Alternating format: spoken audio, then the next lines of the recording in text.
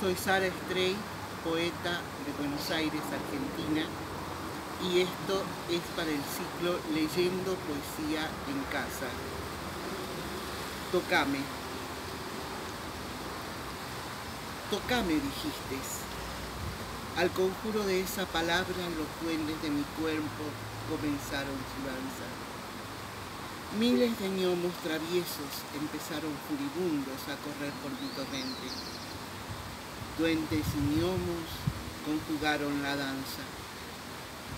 Tocame, qué palabra, y fue tu mano la que me tocó, con la suavidad del plumón de un ave, con la levedad de una mariposa, tu dedo rozó mi brazo, delineó mi boca un cúmulo de sensaciones atiborró mi alma, obnubiló mi mente.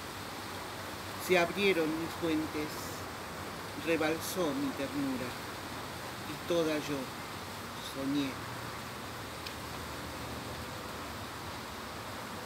De lejos, te miro de lejos y te veo tan viejo que toda la ternura florece en mi cuerpo.